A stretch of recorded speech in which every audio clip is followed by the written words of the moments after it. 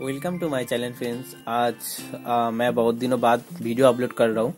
और देखिए जो पीछे जो ड्राइंग है मैं उसको उस पर ही काम कर रहा हूँ। तो मैंने एक डिलीवरी आया है मेरे पास आज। मैं अब ग्राफाइट के ऊपर काम कर रहा हूँ। चारकोल यूज़ भी नहीं कर रहा हूँ। एक मैं वाटर सोल्यूबल जो ग्राफाइट होता है वो मैंने ऑर्डर किया हूँ। और आपके साथ उसका शेयर भी कर रहा हूँ। उसका अनबॉक्सिंग भी शेयर कर रहा हूँ। देखिए इस पर five band H B two B four B and six B and eight B मैं इसके साथ जो नॉर्मल ग्राफाइट पेंसिल है, उसका कंपेयर करके भी दिखाऊँगा। इससे शायद आप लोगों को कुछ मदद हो मैं पहले नॉर्मल ग्राफाइट यूज़ कर रहा हूँ। फेवर कस्टल का ही यूज़ कर रहा हूँ। फेवर कस्टल का एज भी है। उसके बाद मैं टू भी लूँगा।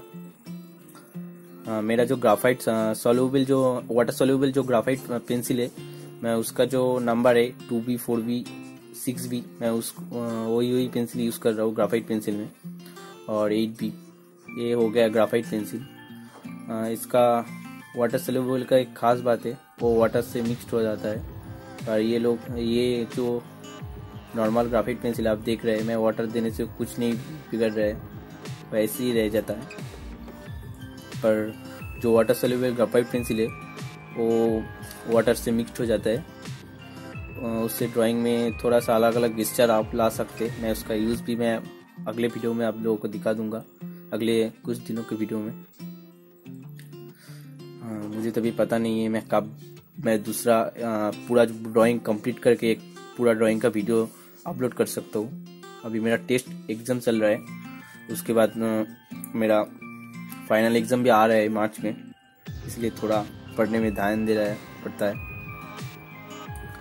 अब देख रहे नॉर्मल ग्राफाइट से वाटर सोल्यूबल ग्राफाइट बहुत ज़्यादा डार्क होती है और साइन भी कम करते हैं कम करती है। अब देखिए वाटर से कितनी वाटर कलर की तरह कितने अच्छी तरह मिक्सड हो जाता है। आ, इसको सूखने के बाद आप इरेज भी कर सकते हैं। जैसे नॉर्मल ग्राफाइट पेंसिल इरेज होते हैं आप इरेज भी कर सकते हैं। बट सूखने के बाद इरेज करना चाहिए नहीं तो पेपर भीगे तो पेपर से रॉ उठ जाएगा। देख रहे, अब अलग अलग जगह पे इसका अलग अलग इस्तेमाल भी कर सकती है। मैं अभी ग्राफाइट को ट्राई कर रहा हूँ, बहुत सारे ग्राफाइट को मैं ट्राई कर रहा हूँ, और ये डार्विन ऑनिक का ए भी वाटर सोल्यूबल ग्राफाइट है। मैं इसको फीवर कस्टल से पहले बाई किया था, एक डार्क है और मीडियम है। मैं दोनों को एक बार दिखा देता हूँ। ये डार्विन का मीडियम है। पहले मीडियम आप देख लो। ये है मीडियम मुझे फेवर कस्टल का ही ज़्यादा अच्छा लगा डार्विन से। आप देख सकते हैं मैं इसका डार्क वाला यूज़ करूँगा।